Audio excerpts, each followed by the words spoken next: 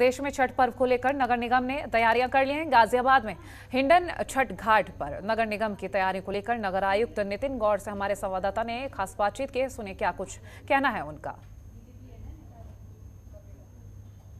अड़सठ घाटों में से गाजियाबाद के मुख्य घाट जो छठ पूजा के लिए बनाया गया है, हिंडन घाट घाट पर इस वक्त मौजूद हैं।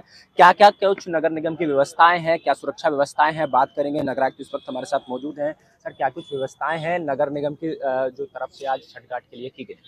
हाँ ये रोड ओवर ब्रिज से रेलवे ब्रिज तक 900 मीटर के स्ट्रेच पे सात जीने तैयार कराए गए हैं। जैसे कि आप देख सकते हैं, हम एक जीने पे ही।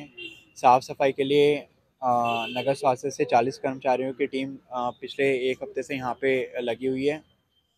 हमारे आठ बड़े कंटेनर्स 30 छोटे डस्टबिन छः मोबाइल टॉयलेट्स और 100 टॉयल टाइप टैप्स जो आपने देख रहे हैं जहाँ पे पानी है वो। और प्लस गंग नहर मेरठ प्रकल्प से सिंचाई विभाग के द्वारा अ, जल स्तर बढ़वाया जा रहा है जिससे जलकुंभी भी कम हुई है।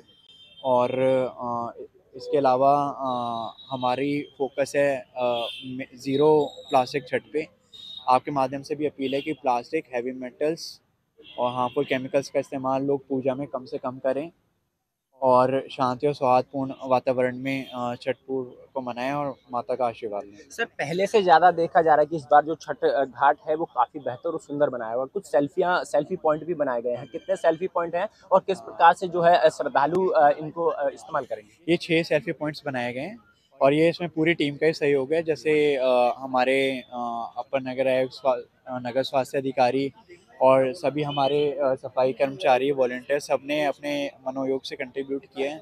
तो उसी से जितनी जिस सफ़ाई के लेवल पे आप हम अभी पहुँचे हैं वो आप उसको बता पा रहे हैं। सर जो टोटियाँ हैं वो भी लगाई गई हैं जल निगम की तरफ़ से या किस प्रकार जो शुद्ध जल है वो लोगों को मिल सके श्रद्धालुओं को मिल सके? टोटियाँ महाप्रबंधक जल के द्वारा लगाई गई हैं और इसमें ये हंड्रेड टोटी हैं। जो लोग जिनको पर्टिकुलर स्किन एलर्जी है तो मेरी एडवाइस रहेगी कि अर्धी देने के बाद वो एक बार उसे ज़रूर क्लीन ऑफ़ कर लें। सर स्वास्थ्य व्यवस्था को लेकर भी कोई बेहतर इंतज़ाम किए गए हैं? यहाँ पे सी एम साहब की दो मेडिकल टीम्स कैंप करेंगी। जैसे पूजा शुरू होगी उनमें महिलाएँ डॉक्टर और महिलाएँ परिचारिका भी पर्याप्त संख्या में उपलब्ध रहेंगी। प्लास्टिक को लेकर भी नगर निगम ने अभियान चलाया हुआ क्या कुछ अभियान है और क्या अपील की जाएगी हाँ हम यहाँ पे कोई दंडात्मक कार्रवाई नहीं करेंगे।